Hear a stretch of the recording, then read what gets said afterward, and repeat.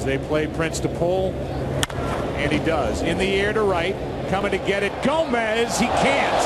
This play backed up by Matt Carpenter, the second baseman. And big Prince Fielder is going to motor all the way around to third with a triple.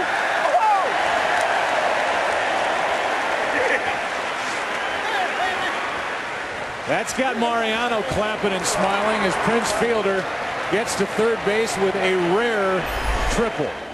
Now, Carlos Gomez had to respect the power of Prince Fielder playing deep, trying for the shoestring catch.